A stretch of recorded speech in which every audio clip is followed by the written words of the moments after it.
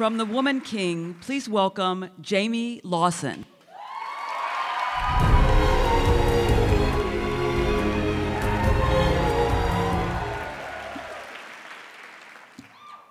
The indelible marks of each and every one of those past recipients are deep. The greatest of the greats, artists among artists, legends among legends. And tonight, Viola Davis joins the long line of legends, not by following in anyone's footsteps, but by blazing a trail all by her own. Probably one of the most notable lines, and my personal favorite, from Ralph Ellison's Invisible Man. Um, Perhaps you'll think it strange that an invisible man should need light, desire light, love light. But maybe it is exactly because I am invisible.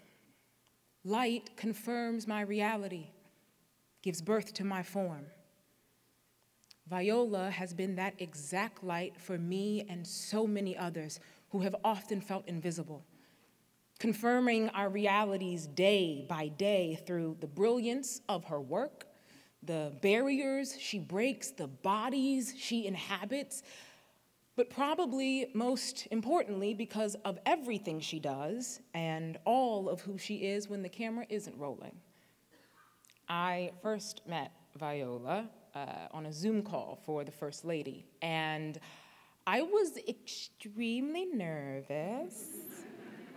I mean, I was getting ready to meet the Viola Davis, right? Um, and I was sweating and trying to keep my voice from being this like high pitched, giddy schoolgirl thing. I don't know.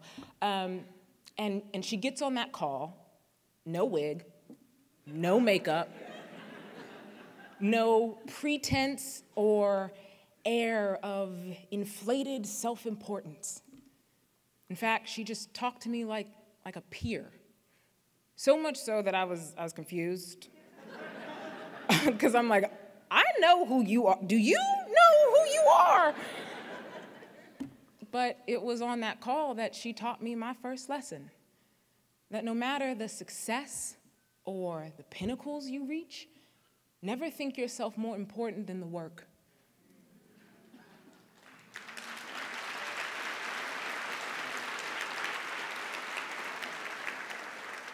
Nor even in your mastery to ever outgrow the position of a student. And she teaches me every day I mean, she teaches me to be a thief because I will shamelessly steal anything she wants to share. I mean, and don't, and don't, get me wrong. I mean, amongst all the humility, Viola is still a bit of an elitist.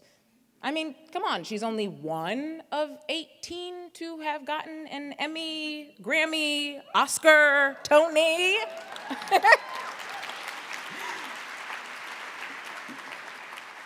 And tonight, she builds on that legacy with the Chaplin Award.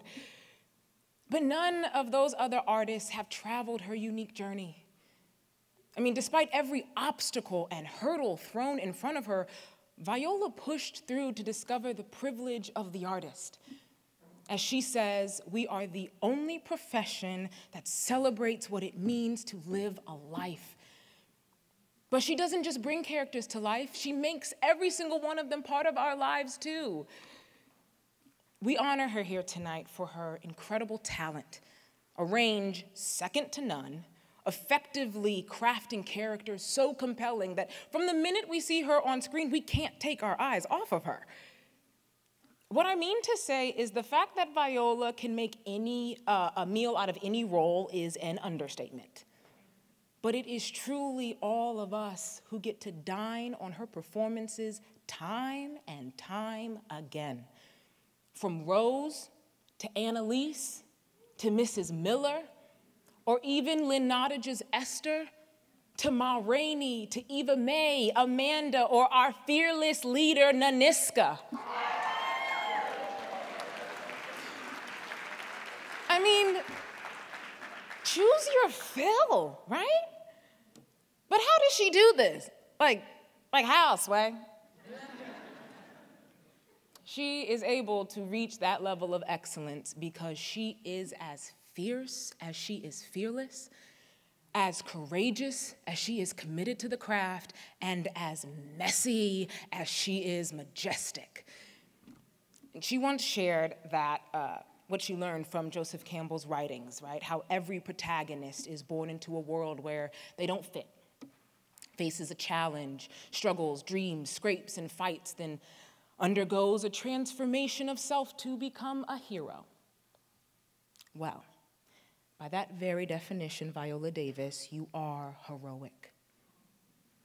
You refuse to be told by anyone that you don't fit, and you reordered the world to fit you. You scraped and struggled and dreamed and dared to climb inch by inch. So, thank you. Thank you for helping us to see the world through your eyes Thank you for taking us all along with you on the climb, and thank you for making the journey so much lighter for so many of us to follow. Tonight, we honor a woman who is a working actor, a shining star, and above all, an inspiration. I love you.